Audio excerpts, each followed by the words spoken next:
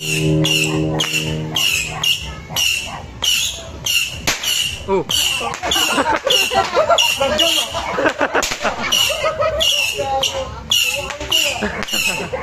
Nanggugulat yun ah.